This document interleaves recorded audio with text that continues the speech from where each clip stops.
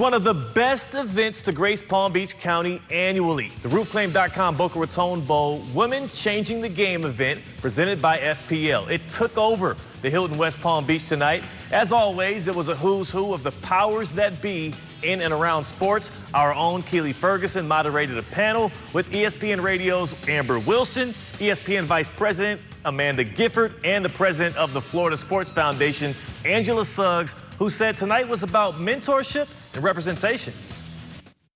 They can be what they can see. Uh, and if they see us on the stage, any of them can continue to go into spaces that traditionally they may not have gone and thrive, and then also bring someone with them. That's a look at sports. We'll be right back.